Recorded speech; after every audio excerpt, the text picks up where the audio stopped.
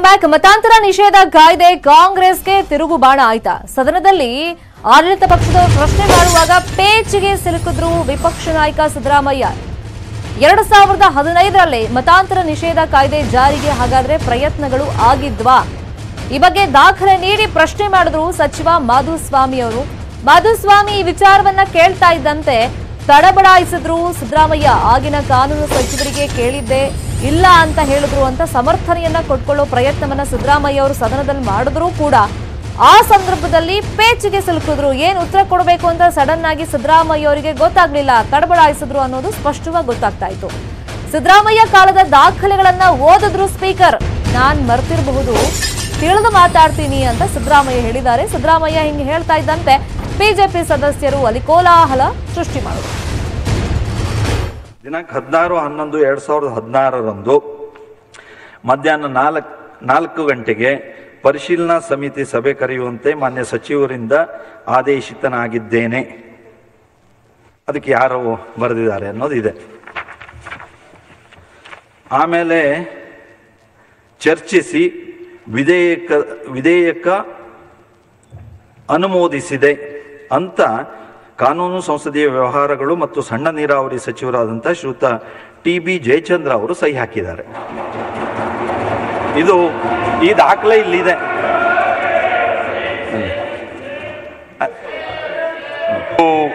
ಏನೋ ಬಹಳ ದೊಡ್ಡ ವಿಜಯ ಸಾಧಿಸಿದವ್ರ ತರ ವರ್ಲ್ಡ್ ವಾರ್ ವರ್ಲ್ಡ್ ವಾರ್ನಲ್ಲಿ ಯುದ್ಧ ಸಾಧನೆ ಮಾಡ್ತವ್ರ ತರ ಸ್ವಾತಂತ್ರ್ಯ ಹೋರಾಟ ಗೆದ್ದವ್ರ ತರ. ಒಂದ್ ನಿಮಿಷ ಸ್ವಾತಂತ್ರ್ಯ ಹೋರಾಟ ಗೆದ್ದವ್ರ ತರ. ಏ ಒಂದ್ ನಿಮಿಷ. ಟೇಬಲ್ ಕುಟ್ಟತಕ್ಕಂಥದ್ದು ಅಗತ್ಯ ಇಲ್ಲ ಇಲ್ಲ ಇಲ್ಲ. ಅಗತ್ಯ ಇಲ್ಲ. ನೇ, ಅಗತ್ಯ ಹೇಳಿ ಇಲ್ಲ. ತಮ್ಮ- ಅಂದ್ರೆ ಅಧ್ಯಕ್ಷರೇ, ಅವರು ಹೇಳಿ. ಕಳಿಸ್ಕೊಟ್ಟಿದ್ದಾರೆ ಅನ್ನೋದನ್ನ ಹೇಳಿದ್ರು ಅದು okay to that extent agreed ಅಂತ ಇಟ್ಕೋಣ Okay. ಅಡ್ಮಿಟೆಡ್ ಅಂತ ಇಟ್ಕೋಣ ನಾನು ನೋಡಿಲ್ಲ. I have not seen I have not seen when is this chair ಜೊತೆ ಚರ್ಚೆ ಮಾಡಿಲ್ಲ ಲಾ ಮಿನಿಸ್ಟ್ರು ಬಟ್ ಈಗ ನಾನು ಕೇಳಿದಾಗ ಲಾ ಮಿನಿಸ್ಟರ್ ಅವ್ರ ಜಿಲ್ಲೆಯವ್ರಿಗೆ ಬೇಕಾದ್ರೆ ಕೇಳಲಿ ಅವರು. ಅವ್ರು ಕೇಳಲಿ. ಅವ್ರು ನನಗೆ ಹೇಳಿದ್ದು ನಾವು ಸ್ಕ್ರೂಟಿನಿ ಕಮಿಟಿ ಮುಂದೆ ಬಂದಿಲ್ಲ. ಅದು ಯಾವ ಬಿಲ್ಲು ಅದಂತ ನೋಡಿ ಸ್ವಲ್ಪ. ಓಕೆ ಇಲ್ಲ ನೋಡ್ರಿ. ಕರ್ನಾಟಕ ಧಾರ್ಮಿಕ ಸ್ವಾತಂತ್ರ್ಯ ವಿಧೇಯಕವನ್ನು ರೂಪಿಸಲು ಶಿಫಾರಸು ಮಾಡಿದ್ದು ನಾನು ಮತ್ತೆ ಹೋಗ್ತಾ ಇಲ್ಲ. Okay okay. ಇದನ್ನು ಅವಲೋಕಿಸಿ ಇಲ್ಲಿ ನೋಡ್ರಿ ಇದೊಂದು ಓದ್ತೀನಿ ಕೇಳ್ಬಿಡಿ ದಯವಿಟ್ಟು ಒಂದೇ ನಿಮಿಷ ಸರ್ ಒಂದೇ ನಿಮಿಷ. ಕರ್ನಾಟಕ ಕಾನೂನು ಆಯೋಗವು ಕರ್ನಾಟಕ ಧಾರ್ಮಿಕ ಸ್ವಾತಂತ್ರ್ಯ ವಿಧೇಯಕವನ್ನು ರೂಪಿಸಲು ಶಿಫಾರಸು ಮಾಡಿದ್ದು ಇದನ್ನು ಅವಲೋಕಿಸಿ ಮಾನ್ಯ ಮುಖ್ಯಮಂತ್ರಿಯವರು ಸಚಿವ ಸಂಪುಟದ ಮುಂದೆ ಮಂಡಿಸುವಂತೆ ಖಂಡಿಕೆ ಹತ್ತರಲ್ಲಿ ಸೂಚಿಸಿರುತ್ತಾರೆ.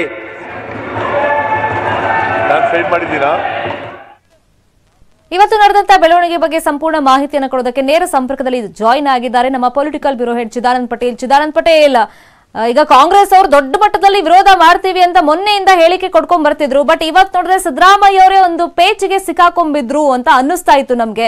ಯಾಕಂದ್ರೆ ಸ್ಪೀಕರ್ ಕೂಡ ಹಳೆದನ್ನೆಲ್ಲ ದಾಖಲೆ ಎಲ್ಲ ಓದಿ ಹೇಳಿದಂತ ಟೈಮ್ನಲ್ಲಿ. ಹಾಗಾದ್ರೆ ಸದನದಲ್ಲಿ ಏನಾಯ್ತು? ಕಾಂಗ್ರೆಸ್ ಅವರು ತೀವ್ರ ವಿರೋಧ ಮಾಡಕ್ ಆಗಲೇ ಇಲ್ವಾ ಹಾಗಾದ್ರೆ? ಅಫ್ಕೋರ್ಸ್ ಶರ್ಮಿತಾ ಶೆಟ್ಟಿ ಶರ್ಮಿತಾ ಶೆಟ್ಟಿ ಧಾರ್ಮಿಕ ಸ್ವಾತಂತ್ರ್ಯ ಹಕ್ಕು ಸಂರಕ್ಷಣಾ ಕಾಯ್ದೆ ಎರಡ್ ಸಾವಿರದ ಇಪ್ಪತ್ತೊಂದರ ಸಂಬಂಧಪಟ್ಟಾಗಿ ವಿಸ್ತೃತವಾದ ಚರ್ಚೆ ವಿಧಾನಸಭೆಯಲ್ಲಿ ಇವತ್ತು ಆರಂಭವಾಗಿತ್ತು. ಚರ್ಚೆ ಸಂದರ್ಭದಲ್ಲಿ ಕಾನೂನು ಮತ್ತು ಸಂಸದೀಯ ಸಚಿವ ಜೆ ಸಿ ಮಾಧುಸ್ವಾಮಿಯವರು ಇದು ಕಾಂಗ್ರೆಸ್ನ ಕೂಸು. ಕಾಂಗ್ರೆಸ್ ಇಸ್ವಿ ಎರಡ್ ಸಾವಿರದ ಹದಿನಾರರಲ್ಲಿ ಸಿದ್ದರಾಮಯ್ಯನವರು ಮುಖ್ಯಮಂತ್ರಿ ಆದಂಥ ಸಂದರ್ಭದಲ್ಲಿ ಲಾ ಕಮಿಷನ್ ಮುಖಾಂತರ ಇನಿಷಿಯೇಟ್ ಆಗಿ, ಇದು ಡ್ರಾಫ್ಟ್ ಆಗಿದ್ದಂಥ ಬಿಲ್ಲು. ಇದನ್ನು ನಾವು ಒಂದಷ್ಟು ತಿದ್ದುಪಡಿಯೊಂದಿಗೆ ಹೊಸದಾಗಿ ತರ್ತಾ ಇದ್ದೀವಿ ಅಂದರೆ ಅವರು ಹೇಳಿದ ಪ್ರಕಾರ, ಏ ನ್ಯೂ ವೈನ್ ನಿನ್ನೆ ಓಲ್ಡ್ ಬಾಟಲ್. ಇದು ಕಾಂಗ್ರೆಸ್ ಪಕ್ಷನೇ ಅವತ್ತು ತಂದಿರುವಂಥದ್ದು ಹಾಗಾಗಿ ಈಗ ನೀವು ವಿರೋಧ ಮಾಡ್ತಿರೋದು ರಾಜಕೀಯ ಕಾರಣಕ್ಕಾಗಿ ಅಂತೇಳಿ ಸವಾಲನ್ನೇ ಎಸೆದರು. ಆ ಸಂದರ್ಭದಲ್ಲಿ ವಿಪಕ್ಷ ನಾಯಕ ಸಿದ್ದರಾಮಯ್ಯನವರು, ನಾನು ಮುಖ್ಯಮಂತ್ರಿ ಆದ ಸಂದರ್ಭದಲ್ಲಿ ಯಾವುದೇ ಕಾರಣ ಕೂಡ ಈ ಬಿಲ್ಲಿಗೆ ಅವಕಾಶವನ್ನು ಕೊಟ್ಟಿಲ್ಲ ಅನ್ನೋ ಒಂದು ಮಾತನ್ನು ಕೂಡ ಹೇಳಿದ್ರು. ಜೊತೆಗೆ ಅಲ್ಲಿ, ಅವತ್ತಿನ ಕಾನೂನು ಸಚಿವರಾಗಿದ್ದ, ಕಾನೂನು ಮತ್ತು ಸಂಸದೀಯ ಸಚಿವರಾಗಿದ್ದಂಥ ಟಿ ಬಿ ಜಯಚಂದ್ರ ಅವರು ಲಾ ಕಮಿಷನ್ ಕೊಟ್ಟಂತ ಕಳಿಸ್ಕೊಟ್ಟಂಥ ಏನು ಕಾಪಿಗೆ ಇನ್ಸಿಯೇಟ್ ತಗೊಂಡು ಅದನ್ನ ಏನು ಮುಖ್ಯಮಂತ್ರಿಗಳಿಗೆ ಕಡತವನ್ನ ಕಳಿಸ್ಕೊಟ್ಟಿದ್ರು.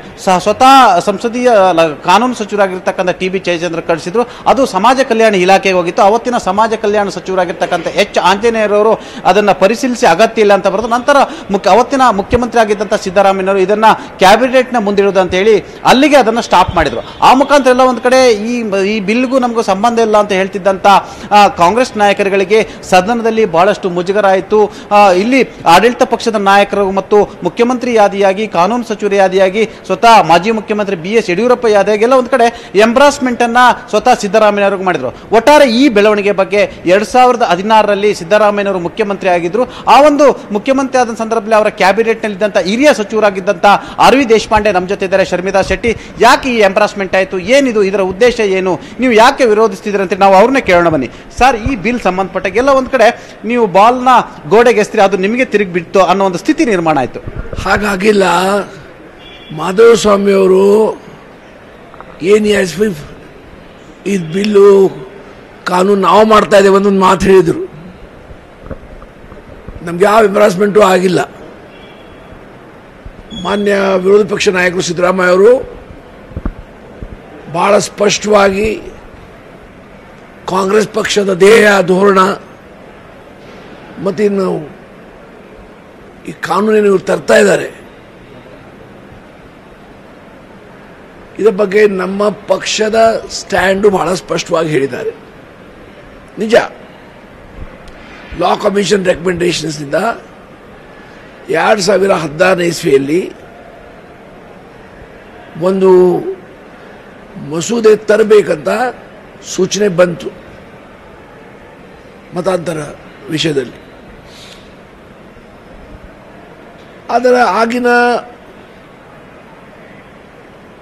ಲಾ ಮಿನಿಸ್ಟರ್ ಜಯಚಂದ್ರ ಅವರು, ಇದರ ಬಗ್ಗೆ ಪರಿಶೀಲನೆ ಮಾಡಿ,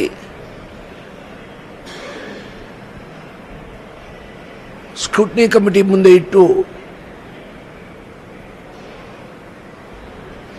ಇದು ಕ್ಯಾಬಿನೆಟ್ ತರಬೇಕಂತ ಅವರು ವಿಚಾರ. ಒಂದು ಮಾತು ಸ್ಪಷ್ಟವಾಗಿ ಹೇಳ್ತೇನೆ ಹಲವಾರು ವರ್ಷ ಕ್ಯಾಬಿನೆಟ್ದಲ್ಲಿ ಕೆಲಸ ಮಾಡಿದ್ದೇನೆ. ಯಾವುದೂ ವಿಷಯ ಕ್ಯಾಬಿನೆಟ್ ಬರಬೇಕಾದ್ರೂ, ಯಾವುದೂ ಇಲಾಖೆ ಇರಲಿ, ಅದು ಆ ಇಲಾಖೆಯ ಮಂತ್ರಿ ಮುಖಾಂತರ ಮುಖ್ಯಮಂತ್ರಿ ಕಚೇರಿಗೆ ಹೋಗಬೇಕಾಗ್ತದೆ, ಮುಖ್ಯಮಂತ್ರಿ ಹೋಗಬೇಕಾಗ್ತದೆ, ಅವರು ಕ್ಯಾಬಿನೆಟ್ಗೆ ಇಡ್ಲಿಕ್ಕೆ ಒಪ್ಕೊಳ್ಬೇಕಾಗ್ತದೆ. ಮತ್ತು ಕ್ಯಾಬಿನೆಟ್ದಲ್ಲಿ ಹೋದರೆ ಮಂಜೂರಾಗ್ತದೆ ಅಂತಲ್ಲ, ಎಷ್ಟೋ ಪ್ರಸ್ತಾವನೆ ಕ್ಯಾಬಿನೆಟ್ ಹೋಗಿ ರಿಜೆಕ್ಟೂ ಆಗಿದ್ದಾವೆ. ಅದು ಈ ವಿಚಾರದಲ್ಲಿ ಏನಾಯ್ತಂದ್ರೆ, ಆಗಿನ ಸಮಾಜ ಕಲ್ಯಾಣ ಸಚಿವರಾದಂಥ ಅಂಜನಾವ್ರ ಕಡೆ ಹೋದಾಗ ಅವರು ಸಹ ಇದರ ಬಗ್ಗೆ ಪ್ರಸ್ತಾಪ ಮಾಡಿದ್ರು. ಏನು? ಇದರ ಅವಶ್ಯಕತೆ ಇಲ್ಲ. ಅದಕ್ಕಿಂತ ಮುಂಚೆ ಫೈಲು ಸಿದ್ದರಾಮಯ್ಯ ಹೋಗಿತ್ತು. ಸಿದ್ದರಾಮಯ್ಯ ರೆಫರ್ ಮಾಡಿದರು. ಈಗ ಬಿ ಜೆ ಪಿ ಅವರು ಹೇಳುವುದೇನೆಂದರೆ ನಿಮ್ಮ ಕ್ಯಾಬಿನೆಟ್ ಹೋಗುವ ಸೂಚನೆ ನಮ್ಮ ಸಮಾಜ ಕಲ್ಯಾಣ ಇಲಾಖೆಯ ಸಚಿವರು ಅಂಜನೆ ಹೆಂಗೆ ಇಲ್ಲಿ ಕಳಿಸ್ತಾರೆ? ಹಾಗಲ್ಲ.